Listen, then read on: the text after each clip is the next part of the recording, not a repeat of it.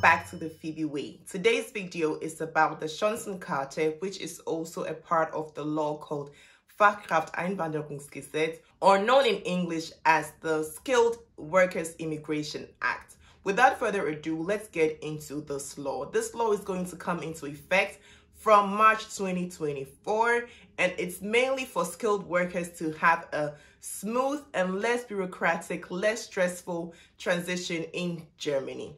Also, it's going to favor job seekers, and that is where we're going to talk about the Chancenkarte. It is for the job seekers.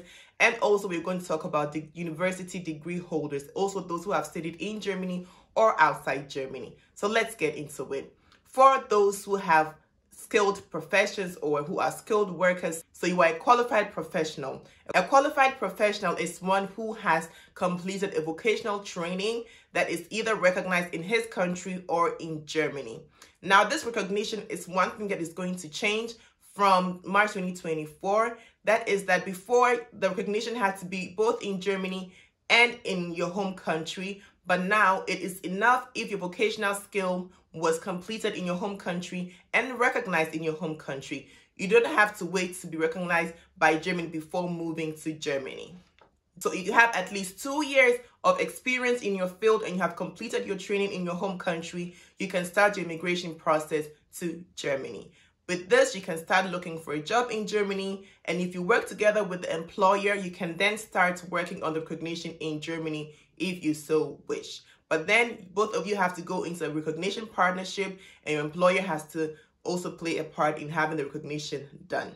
A new thing is also that industries that are looking for people to work for them in that industry can also have people who are qualified professional but in other fields apply for that job and then start working that job for up to eight months. So that is a good thing because now you don't have to match your professional or your profession with the job that you're going to do but the employer just has to be able has to see that you are going to fit the job role and then employ you and your salary threshold must meet the standard that has been set by the law or your employer has to adhere to the, the collective agreements, being the tarif Tarifvereinbarung. So now let's get to degree holders. If you are a degree holder, you studied in Germany or outside of Germany, if you have studied in Germany for the blue card, if you remember the blue card, I have a video on that also on my YouTube channel. You can go check it out. But now I'm going to have to update it because it has changed. For the blue card before, you'd have to have a job within your field of study. So if you studied accounting, you have to get a job in accounting, right?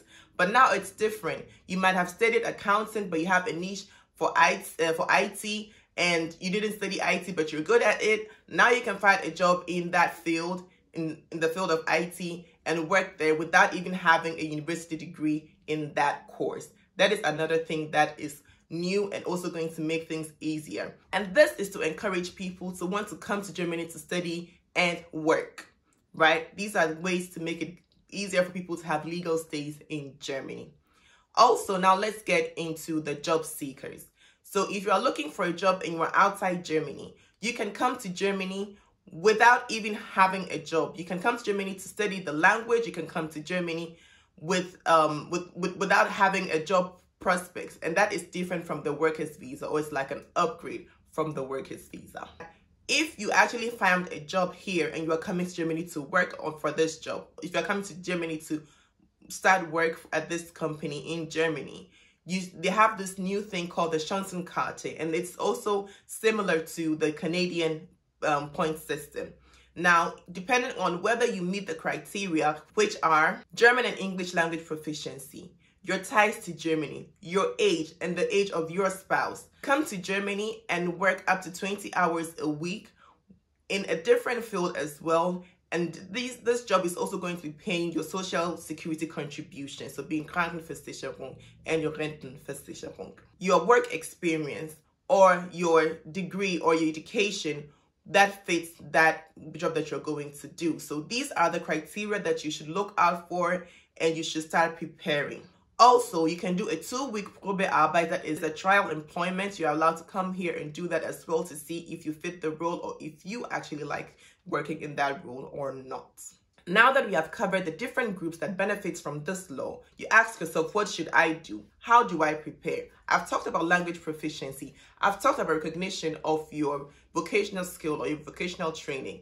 I've talked about your degree and all of that. So if you have a university degree, you can start looking for the job and also start learning German to make your points higher, right? So the more points you have, the better your chances. So if a person who has the B1 is going to get one point and make sure that you are, you can study as high as B1. And now we are in what July. The the law is going to come in if it's going to come into effect in March 2024. So you have ample time to at least get to A2 or possibly even B1, depending on your speed. Also, you can also start working on the recognition of your skill or vocational training in your home country because now that is the only requirement you need when it comes to recognition. Your home country should recognize that vocational skill. Also, we have talked about the job, we have talked about we have talked about the language, we have talked about um university degree. I also want to tell you you can also start looking for the job. Look for the job. You can find them on these websites. Go out there and I wish you all the best of luck. If you need help gathering your documents, if you need help understanding something, I'm your girl, I'm your plug www.thephoebeway.de or at info at thephoebeway.de. See you on the next one. Bye.